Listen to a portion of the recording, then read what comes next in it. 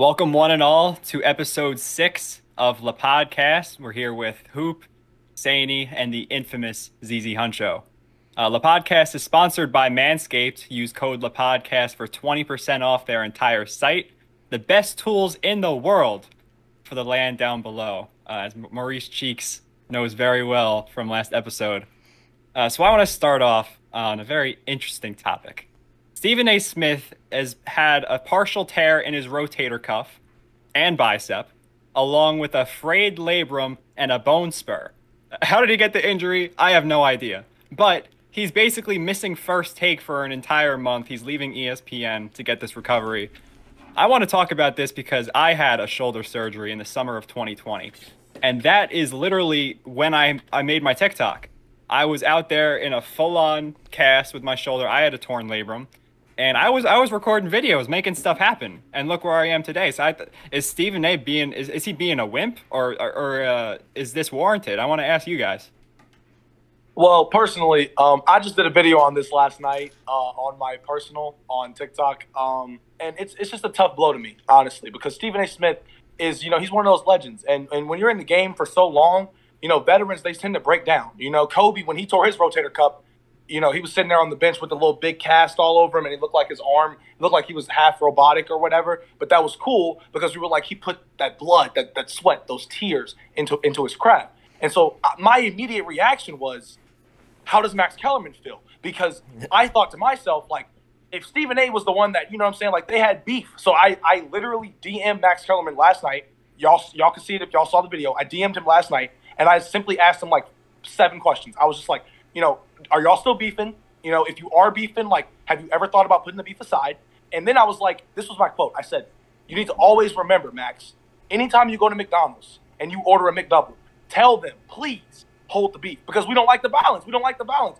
If they didn't hold the beef with their own beef right now, and and literally Stephen A is laid up in the hospital somewhere. Like you, you gotta stop, bro. Like now I feel like Max and Stephen A are like Tupac and Biggie, like of the NBA right now. So that you know, I, I hope he I hope he has a speedy recovery because they're gonna need him. His his his his gang first take is gonna need him. So Sainey, what yeah. do you think? I uh I, will tell you this. I never once thought about Max Kellerman when I heard the news. Uh, so that's interesting to hear from you, Z. Uh, but yeah, he's definitely being a wimp, man. Put a cat, bro. If Kobe and Klay Thompson can shoot free throws on a torn meniscus, all right, Stephen A. Smith can damn well put a cast on, sit on a seat, and start giving his blasphemous takes like we're all used to. What does his shoulder have to do with his mouth? Pause. I caught that myself. But seriously, Good job. you know, maybe like a week or two off because he like fresh out of surgery. I get that. But bro, you want to fully recover from a shoulder injury before you go back on set? That's that's think, that's a little ridiculous to me my uh, theory is that Donovan Mitchell is going to sign with the Knicks very soon, and he doesn't want to suck up the fact that he wants to go to MSG after they sign him. Apparently, they're huge front runners, but now we're, we're going to get into today's lineup because we're going to be talking about that a lot. Uh, starting off with the headlines, we're going to talk about DeAndre Ayton for a little bit. We didn't come up with a creative title for that. It's unfortunate, but uh, it's there. Are they tweaking? Uh, a very, very interesting are they tweaking? Um, then we have Spidey Senses featuring Donovan Mitchell. And I guess I could say it because we all know it's coming. Sainey's secret segment at the Pause. end. My bad. What segment? Uh, no, I, I, didn't say anything. Um, yeah. only four today. So starting off with the headlines, LeBron James has officially signed a partnership with LifeWater. Um, so La Water is a thing now. uh, we all know the history MJ has with Gatorade um, he was the poster boy back in the day.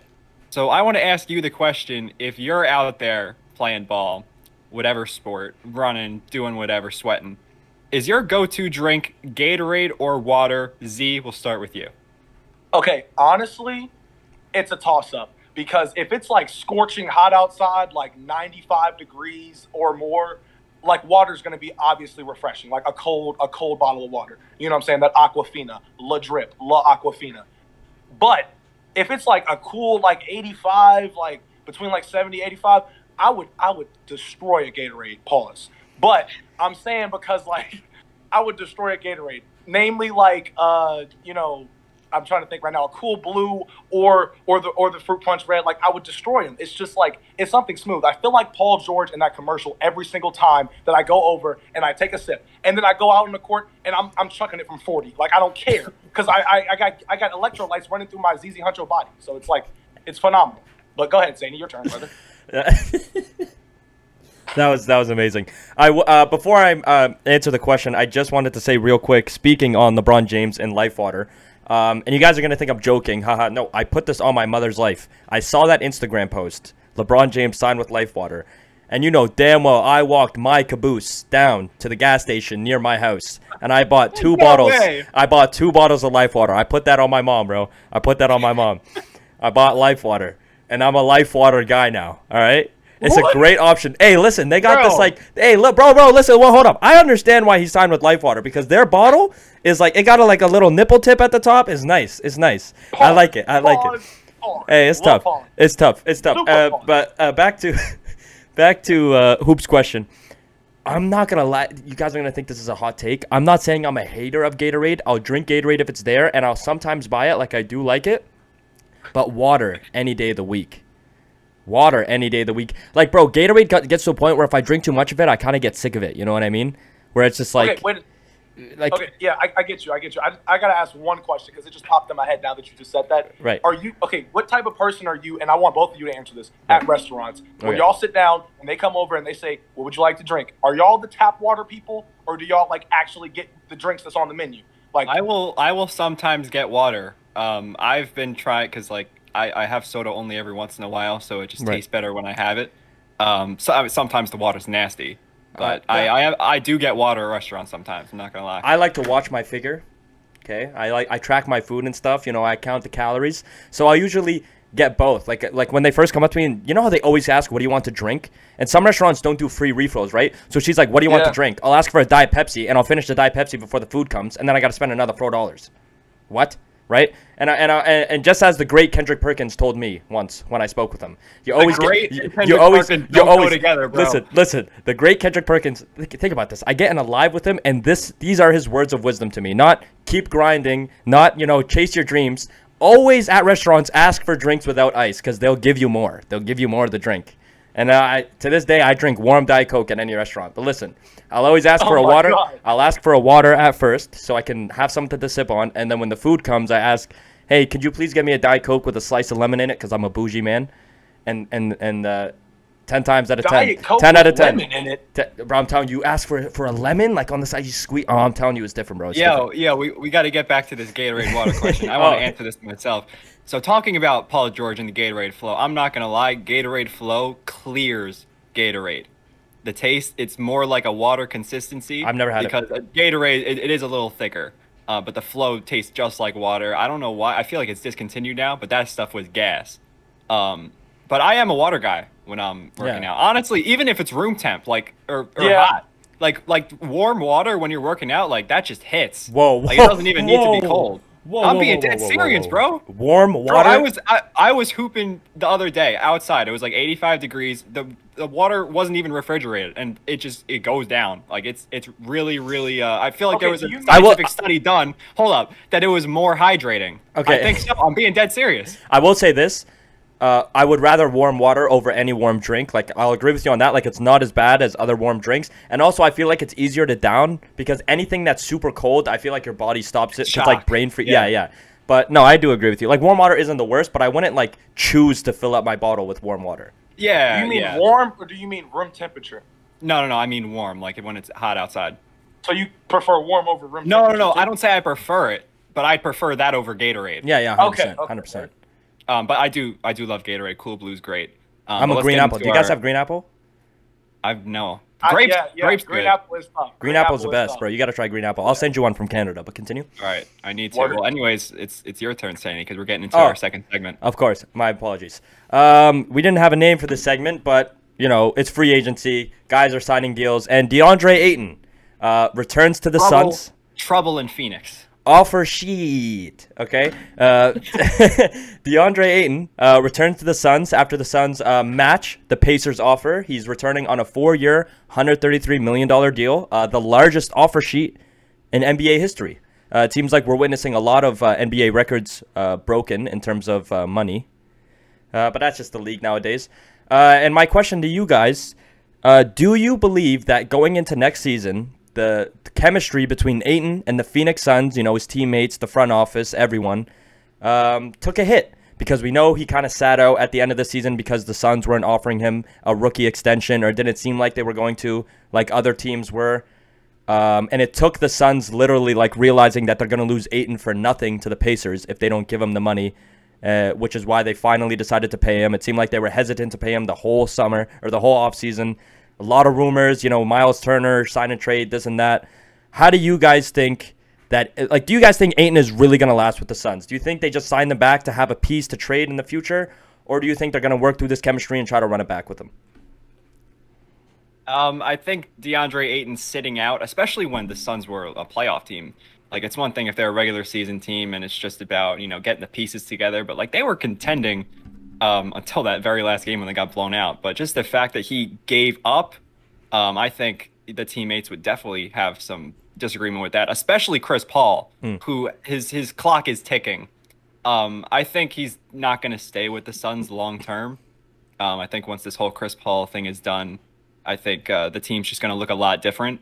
But I mean, I guess you sign him another year so you could try to contend again. But the Suns have not really changed much. The West has only gotten better. Right. But uh, if anything, I think the Suns. I mean, they they have the same roster, but I would not imagine that the chemistry would be great. Yeah, I don't. I don't think that. I don't think that DeAndre Ayton is going to be there in like three years, honestly. And and like you said, because I'm looking at Chris Paul, and you know, Father Time is knocking on Chris Paul's door, uh, and we know that we can see it. But Chris Paul is obviously so freaking fantab- fantabulous that he's just you know playing like Chris Paul, defying the gods himself themselves. But I think that for one, the the Phoenix Suns are just an interesting franchise to me, like very interesting, right? You mean to tell me that in the 90s, right, when they get Charles Barkley and Kevin Duckworth and all of these farmer boy names, um, that they end up running into Michael Jeffrey Jordan. Like they get all that success, they get an MVP, and then they run into Michael Jordan. And then fast forward 30 years later, they get the point guard Chris Paul, Devin Booker, Kendall Jenner's. Um, well, I guess he, she just re-signed that deal. So congratulations, D Book. Congratulations. Um, and then they get DeAndre Ayton, who I've always been high on since he walked into the league because I was like, he's like a fundamentally good big man. Like he can shoot free throws, he can shoot mid ranges, his hook shot's good, he can rebound, he can sometimes defend in the interior. But they mean you mean to tell me that they get all of that, a 60 plus win team, and then they try to run it, and they make it to the finals and they run into Giannis. Then the next year, they're trying to get back to the conference finals at least because the Warriors have gotten good and everybody wants to see that matchup. And then Chris Paul, D Book, and DeAndre Ayton meet their father for the first time in the form of Luka Doncic and the rest of the Dallas Mavericks because they destroyed them in Game Seven. Oh, they just they're an interesting team. I don't think that they're ever going to win a title in like the next 20 years, but I think that their rebuild is going to be interesting and it won't feature DeAndre Ayton. It's going to be right back to Devin Booker, right back to square one, and he's going to be leading them like he did in the bubble in 2020. So, yeah. That's that's that's my thoughts. Uh, I will say this uh, about the Suns. I do like the fact that they decided to match the Pacers' offer because having DeAndre Ayton on a four-year deal – uh, brings his trade value, like it skyrockets his trade value, I feel like, because him as a trade asset when he's still on that rookie contract, they know his time's coming to an end. So whatever team they trade him to, there's a chance that team, you know, doesn't resign him or gets to keep him, like he leaves in free agency, right? So the fact that they have an uh, DeAndre Ayton who's displeased with the Suns, they keep him on a four-year deal. I definitely do see them moving DeAndre Ayton, and it could happen as soon as uh, the trade deadline this season. And and to, just to point out with the whole Chris Paul thing, if you put a decent center beside Chris Paul, he becomes an all star. You know what I mean? Chris Paul will take any center you give him and make him look like Jesus.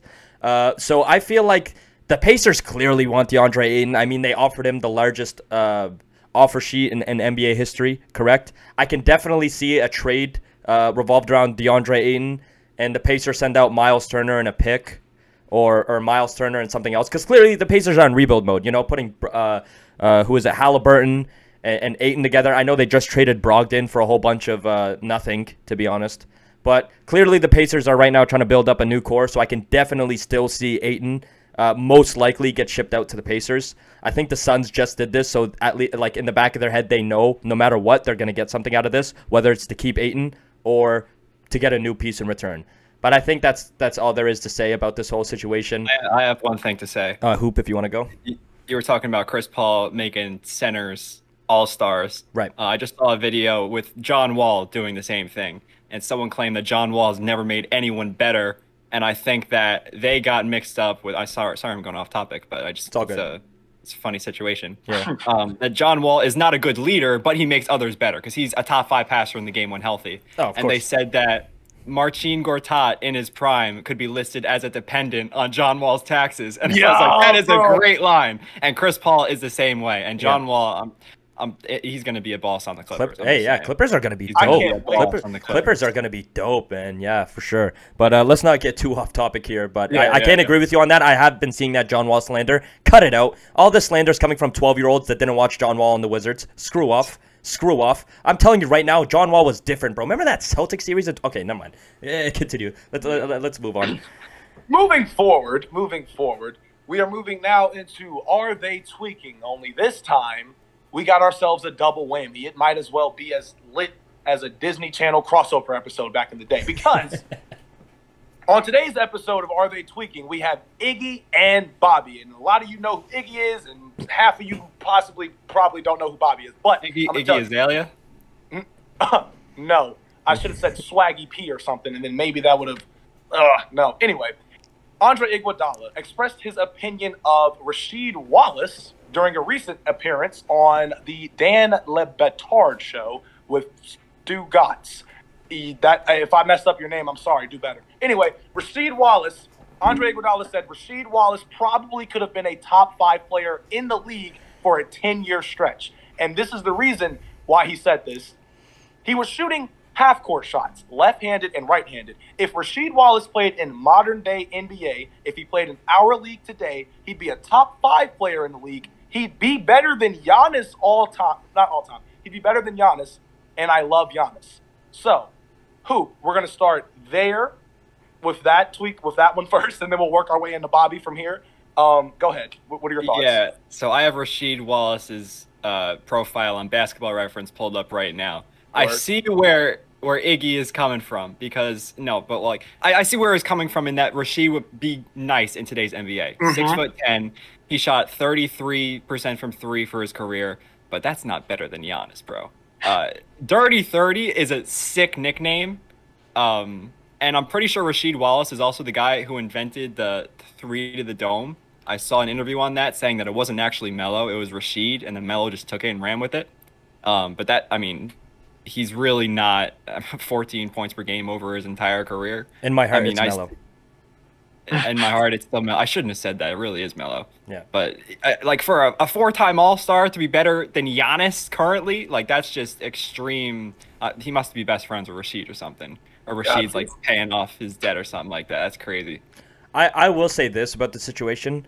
Um, I'm not going to give much of an opinion on it because, to be honest, I didn't watch Rasheed Wallace um, as much. Like, I, I don't remember him at all. I don't even think he was in the league when I started watching. I started watching in like 2010, 2009. So um, I, I'm not going to give an opinion on his game or how good he was as a player. But I will say this. Um, in my 12 years of watching uh, NBA basketball, that is the first time I have ever heard anybody say Rasheed Wallace would be a top five player at any point in any era. You know Top what I 20 mean? player. Top, yeah, like like and like t- t- anything, but it, it- it's just like I'm gonna have to disagree just because this is the first time I'm hearing of this, and the reaction from the media seems to be wild, and people are just calling Iggy out, saying he's tweaking. Um, I, better than Giannis, I highly doubt it. Again, I've never watched Rasheed Wallace, so I can't judge the guy. I'm not gonna hate on his game. I'm not gonna say anything about him. All I'm gonna say is, if he truly was, if he truly would be better than Giannis, his stats would show it. His legacy would show it. But clearly, it doesn't. I Bang. maybe maybe he'd be a borderline All Star because he was only a four time All Star, like Coop said. Um, Dirty Thirty would have been hilarious as a nickname in today's age. Yeah. But yeah, no, I think he's I, like I'm. again, I can't really say anything about Rasheed, which is which is why I don't really like talking about the quote. But uh, he's The only reason that the only reason that I'm not going to talk about it is because y'all have said "dirty thirty twice, which is literally a segue into our next tweaking moment because this is the Bobby part, right? So, ladies and gentlemen, if you don't know who Bobby Marks is, I'm not surprised. But Bobby Marks is an ESPN analyst and a former NBA executive who said, not even 72 hours ago, Max, I actually think Steph Curry is the second best player of all time, right behind Michael Jordan. So I don't even need to get into the to the reasoning or anything like that. Y'all should have seen this by now on some sort of social media, whether it be Twitter or Instagram. But y'all have seen it. So now, Sainey, we're gonna start with you, little snake, and we're gonna start with you and let you let you uh, give your thoughts on Did you that. just Go call ahead. me Little Snake.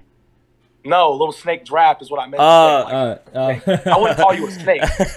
I know I can't call you a snake. That'd be come on, bro. You're Yeah. OKC Yeah. fan. You've been calling KD a snake for seven years now. yeah. Um, are we actually discussing this? That's ridiculous. This take is ridiculous. like, this is um, this this is like, it has There's to be a joke.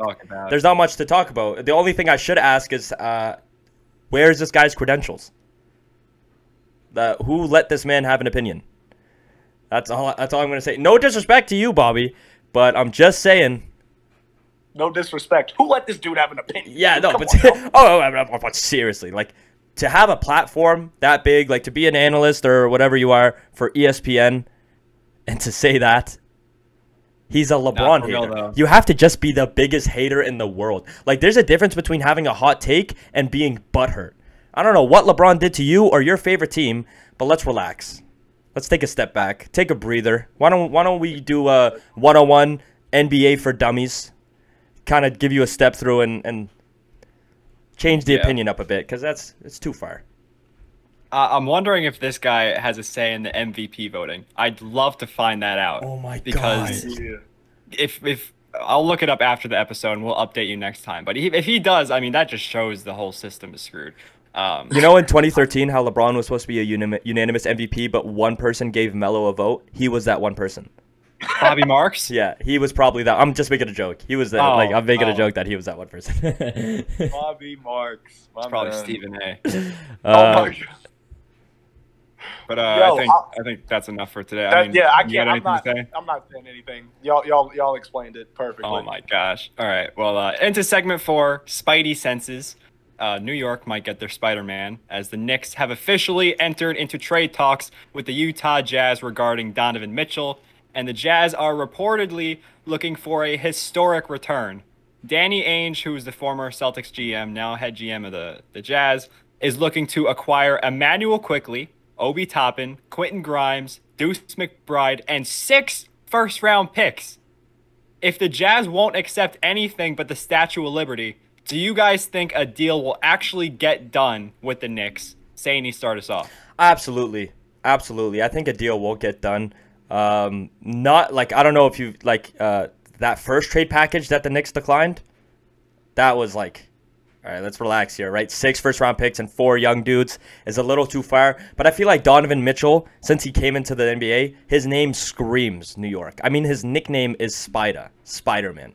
The guy is built for the Madison Square Garden. I, I, I would love to see if, if there's a move I want to see, it's Donovan Mitchell to the Knicks. I think he's a phenomenal basketball player, so I understand Danny Ainge's point of view where he's like, I want a historic return for Donovan Mitchell because it's very rare for for a, for a guy like Donovan Mitchell to hit the trade market, you know, and and being the Knicks, they're not great at signing big big names. They're not. Let's be honest, Hoop. I'm not taking a hit at you or the New York Knicks. No, no, no. I It's- agree. I made a video on that. Hey, I'm just being honest here, right? But Donovan Mitchell, you know, he's one of the only.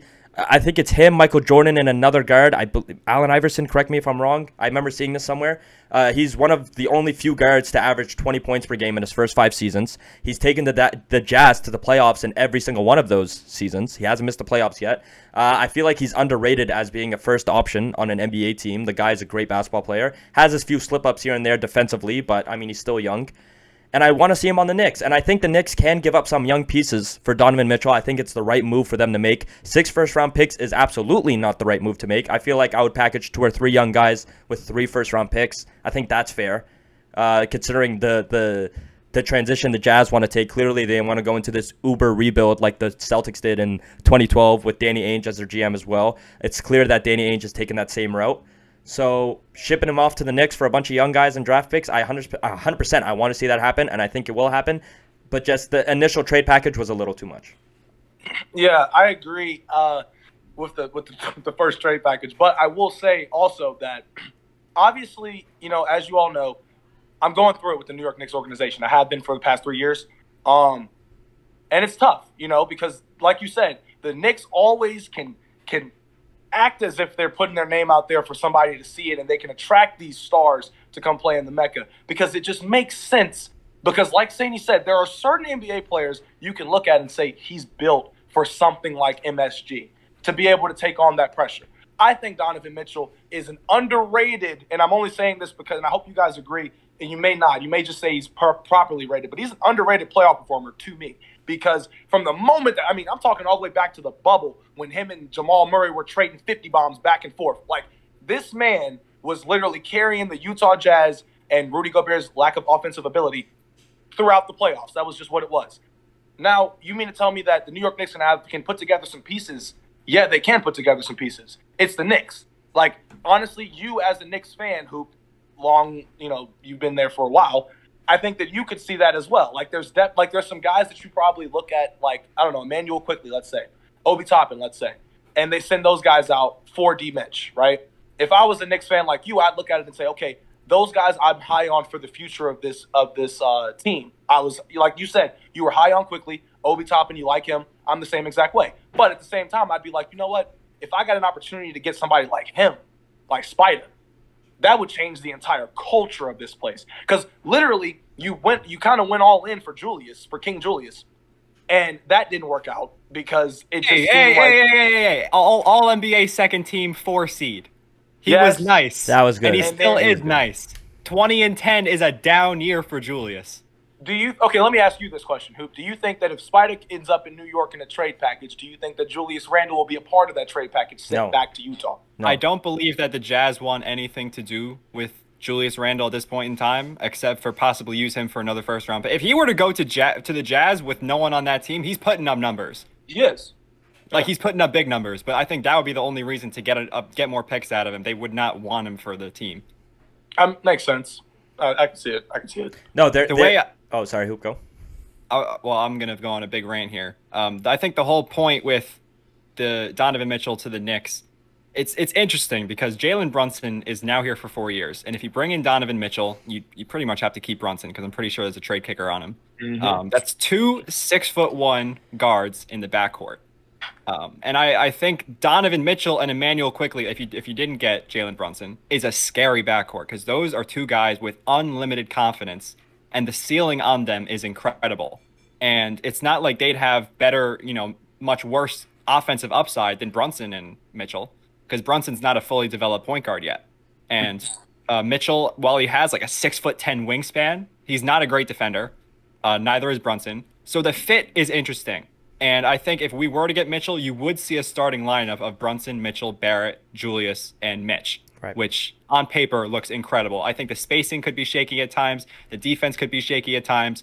But if you're only going to give up Obi Toppin, Cam Reddish, I'll say five first, and Quentin Grimes, I think they do hold on to Immanuel Quickley, only because I think uh, Quick and Mitch are actually close friends. Um, I think the Knicks and Knicks culture definitely value Quickley. I think the most out of any of those young guys because his confidence is just built for MSG. Um, I think the team could be great, uh, but it's just it's an interesting fit. And the thing is, the, the Knicks are not going to attract a big free agent because we haven't, and we usually suck at drafting. So I think you have to t- kind of take the swing of Donovan Mitchell, and you can't give up too much.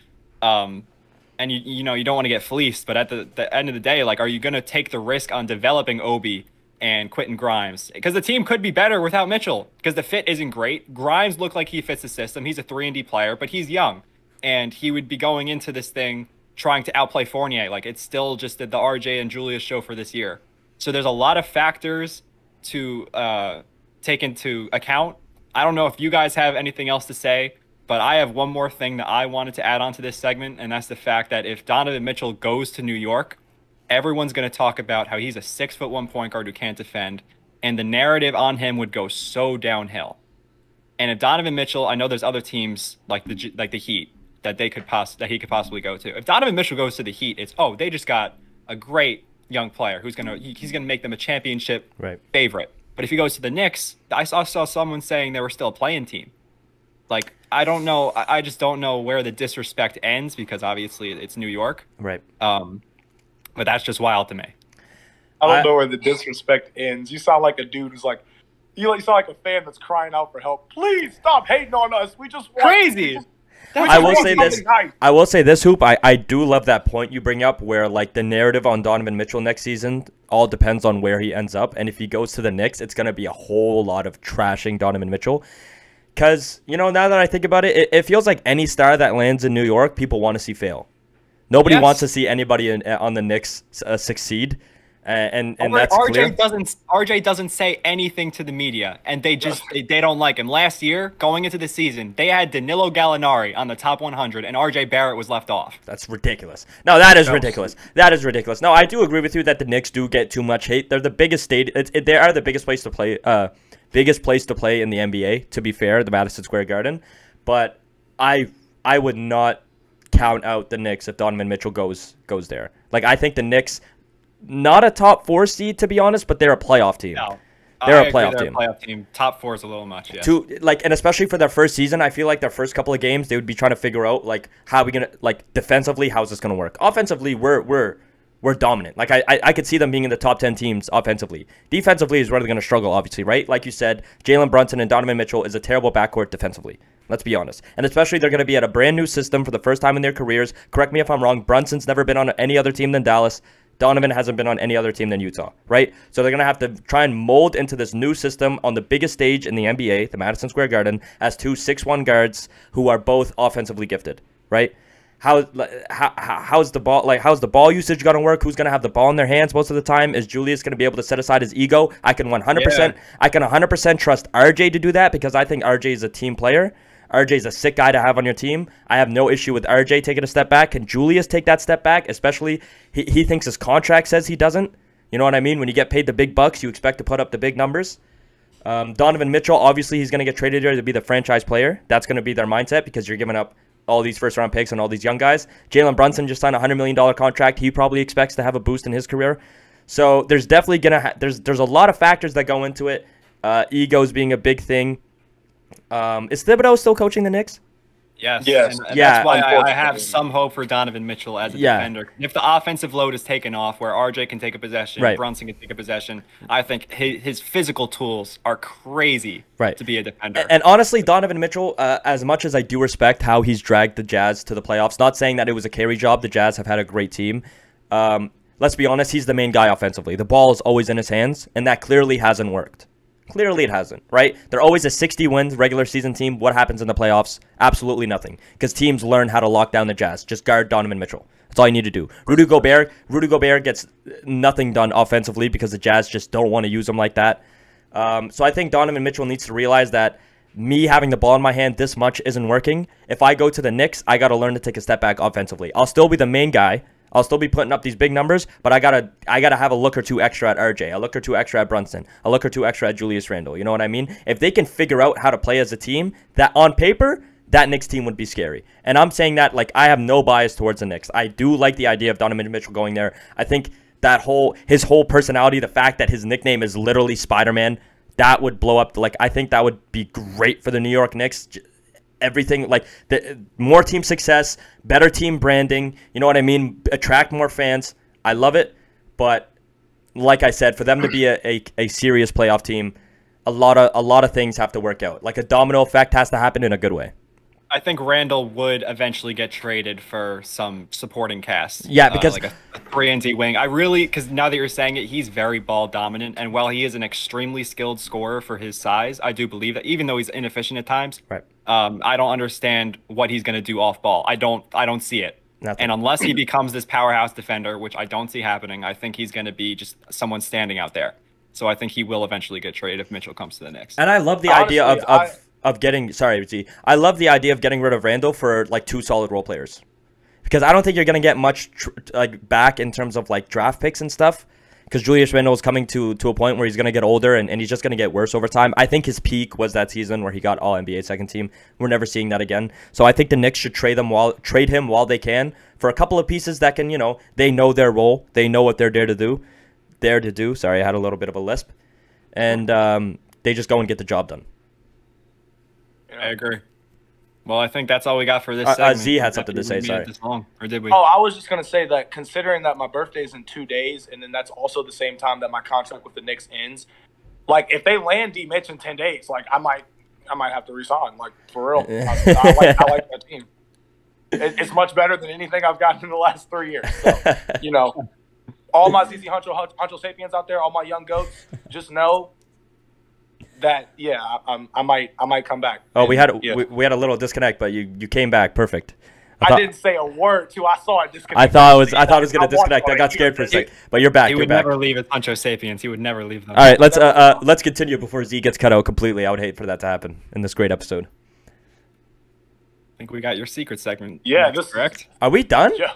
I think so. Holy moly, bro! That the, oh yeah, the check. Look at the time, boys. I, I, we're, we're catching up on you. before my For secret real, bro. segment, guys, this was like one of the best old. episodes. That was the most free flowing conversation. Good, right, good job. Manscaped. Great, great.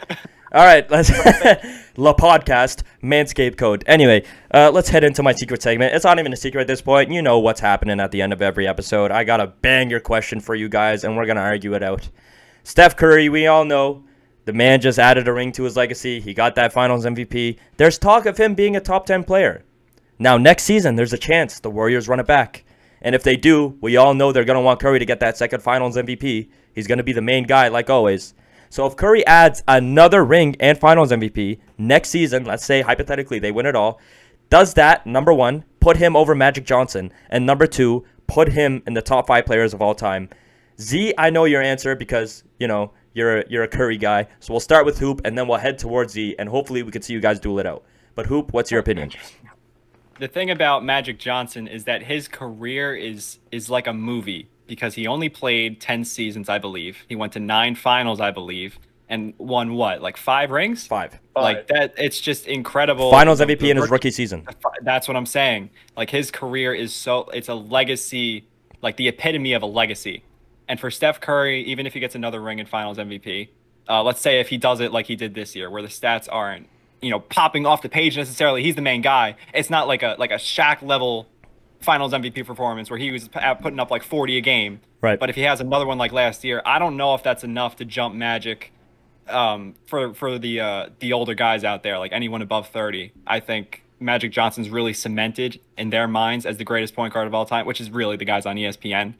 Um, Bobby Marks is, you know, he'll think Steph Curry, but I mean, for for the young people, I think it would become more like an MJ LeBron war at Right. that point. It would not be one sided. I will say this What's about uh, Magic Johnson real quick before Z you say this point. Uh, in his rookie year, he played with Kareem Abdul-Jabbar.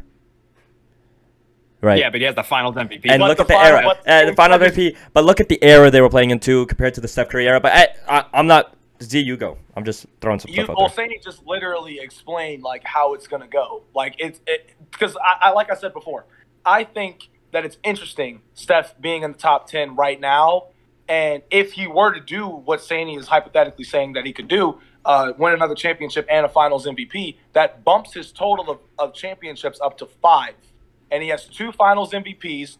Technically, we all know it should be three, um, but this is all hypothetical, of course five titles, the greatest shooter ever, re completely changed the entire game of basketball. And on top of that, this is what I, I proposed this question to Sainey earlier. I said, if Steph Curry right now, you can look at social media, you can throw out they, Bleacher Report, uh, ESPN could put a freaking head-to-head comparison between Steph and Magic and say who you got. And a lot of people are starting to put Steph and say Steph's the, the best point guard. They're putting Steph over Magic. They're already doing it off of his off of this finals uh, appearance alone. So for me, what I find interesting is, and I love doing this to the NBA fans. I love doing it to the community. It's where a certain narrative is already put in place, right? But you have to dig deeper into that narrative. So my question is, for all of y'all that say Steph is like a better point guard than Magic, where does Steph fall in your top 10 then? Because if Steph were to win another ring and tie Magic, he would also have more than LeBron in his career. So Steph, so I'm just saying like that would rise him up because he would be at a point where he took over the 2010s into the 2020s. So it just it would be like you would you he would rise in stock due to dominance and that greatness factor. And the reason that I had Magic over Steph for so long is because in 1979 he went berserk in Game Seven without Kareem Abdul-Jabbar. Played the five and went out there and dropped what 42-11 or whatever it was, but he went stupid as a rookie and then transition from that into the rivalry with Bird, which saved the NBA, which is another reason why I think he's right there in the top five chilling because, like you said, he's been he was in the league for about 11 years and and went to the finals nine times. I mean, even like that's just it's just incredible. So I, I would say that Steph's stock would definitely rise because you would have to put a lot more things into perspective than just oh, is he better than Magic now? Because mm. it's gonna if he gets a fifth championship, mm. Bobby Marks is gonna have a whole lot of little Bobbies in the comment section saying, "Is he better than LeBron? Is he better? I think he's better." So I yeah, that, that's probably gonna happen. Um, I, I don't really have a real answer. Whether you say Magic is the greatest point guard of all time or Curry, I respect both opinions. But if you use any other point guard than Magic or Curry, then I'm like, you're tripping. But John uh, Stockton. Yeah. Dude, uh, I, I cannot stand people who say John Stockton is like a top three point guard. Oh, no, he's not. He's not. I'm sorry, I'm going off on a tangent, but I don't have John Stockton in my top five, and I'll defend that to the death. No cap. Oh I, I, Russell Westbrook. Russell Westbrook is a better point guard all time than John Stockton. I can mess with that. Yeah, thank you, thank you. All right, we're ending it on that. No, no, no, Z, don't even say anything. I know you're about to argue with me. We're ending it on that. Thank you so much, everybody. no, I'm joking. oh wait, I, got, I gotta, I gotta talk about our next episode. Oh yeah, yeah, yeah. Real quick. Uh, so the hat I'm wearing right now, for y'all on Spotify, you can't see it. I'm wearing a Hooperverse hat. I just put a video out on my personal page, Hoopology, that Nico Mannion will be joining us on the podcast as our first NBA guest my on boy. episode seven. Uh, we are super hyped. So if you could drop some comments, like with some questions that we could ask him, we want to talk about his music taste. Is, is he a Swifty? Uh, what he likes to well, eat? he better be a Swifty. He, he better, better, be a Swifty. but uh, just some fun stuff. He's going to talk about his story that really ESPN did not cover at all. He has an amazing story. Um, how he founded Hooperverse, what exactly Hooperverse is, because it's very complicated. But it's all good stuff, and we're just happy to keep on moving forward in this podcasting world. Um, Richard Jefferson might be in our future. I have a connection to Isaiah Hartenstein on TikTok. Nate, uh, Darling, Nate Darling is coming. Nate Darling is coming, I promise. And if you guys don't know who Nate Darling is, just look up no, you know what? I'm not gonna say anything. We'll wait for the day. yeah, we'll we, we have some we have some really cool guests, and it's yeah. just amazing to have an guys, opportunity like this. Honestly, in the first, we're not even a month into this podcast, and the amount of love you guys have shown us across all platforms, you guys are really blowing this up way more than I could have imagined in the first month. It's ridiculous. The moves we're making, the time we're all putting in individually, it's it's for you guys, and we're about to blow this out the water. This podcast is only just getting started. The first five episodes sucked compared to what you guys are about to see. But oh, I, God. I think this is a great way to end it, boys. This was one of my favorite episodes. I'm not gonna lie. We this can I a, say this as well because yes. y'all went on tangents to the fans and I didn't get to. I love each and every single one of you. My young Huncho Sapiens, my young Lahoopiali, my Lahoopalology. What what would you? Yeah, y'all need to come up with like a fan base or something because I no, can't. No facts, because like uh, mine would when mine would naturally be Hoopers, but that makes no sense. right. Yeah. Like Hoop Juniors. What if we called them like Hoop Juniors? Uh, Hoop Juniors. Hoop the loops. Little, little tykes. Hoop the loops. Hoop little the loops. Hoop, little what? The, little like tykes. the little the, the little tykes hoop. Oh, like my mini oh, hoops. Oh, little tykes. Okay, okay, yeah, no, that's fair. You can call them mini hoops. That'd be I'll call cool. mini hoops. That's dope. Yeah. Okay, Zane, you need something. I call them. I call mine real. I call mine real ones. All right. The can, the Canadians. yeah, dude. The Canadians. Yes, bro. You could have like um. What's the What's the name of the of the mascot for the Raptors? What's his name? Raptor. I know it isn't It's Raptor. Raptor. Okay, never mind. Never mind. All right, all right. We should probably wrap up this episode before they hear a whole lot of us just talking about random stuff. But before we end we the episode, right before we end the episode, and I'm gonna end it right when I say this. So everybody, do your outro. I'm gonna end the episode on a fun fact that nobody knows, and I'm gonna give you guys a little bit of a personal fact. I am half Russian. Goodbye.